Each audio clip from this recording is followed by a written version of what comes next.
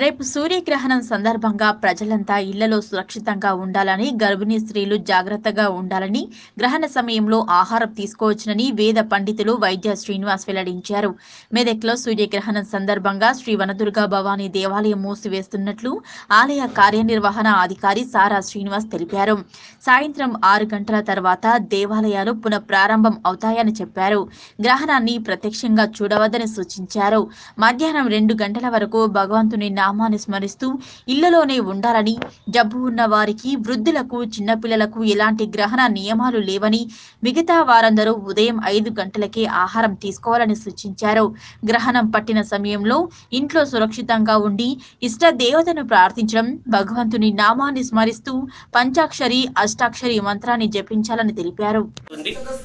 ఉదయం తొమ్మిది గంటల నుంచి మధ్యాహ్నము రెండు గంటల వరకు కూడా వారు ఎలాంటి పనులను ఉన్నా మానుకొని ముళ్ళు వేయడం కానీ కూరగాయలు దొరకడం కానీ వంటలు చేయడం కానీ అట్లాంటివి మానుకొని గర్భిణులు జాగ్రత్తగా సురక్షితంగా ఒక గదిలో వెళ్ళకిలా పడుకొని ఆ యొక్క భగవంతుడి యొక్క నామాన్ని జపిస్తూ మరి వారు ఆ రోజంతా కూడా ఆ నాలుగైదు గంటలు గ్రహణం పడుతున్నంతసేపు కూడా గడపాలి.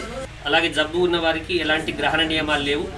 మిగతా వారందరూ కూడా ఉదయం ఐదు గంటల లోపల మరి ఆహారం తీసుకోవాలి. గ్రహణం కంటే మూడు మూడున్నర గంటల ముందు కడుపంతా కూడా ఖాళీగా ఉండడం అవసరం. గ్రహణం పట్టినటువంటి సమయంలో మీ మీ ఇష్టదేవులను మీరు ప్రార్థించండి. ఉదయం నుంచి సాయంత్రం వరకు మొత్తం గుడి మూతవేయబడుతున్నది. గ్రహణం సూర్యగ్రహణం ఉన్న సందర్భంగా గుడి మూతవేయబడుతున్నది. కావున భక్తులందరూ మా దేవస్థానానికి సహకరించగలని కోరుచున్నాము. నాలుగు గంటల తర్వాత సంప్రోక్షణ చేసి మళ్ళా గుడి పూజలు యథావిధిగా నిర్వహించబడుతున్నవి.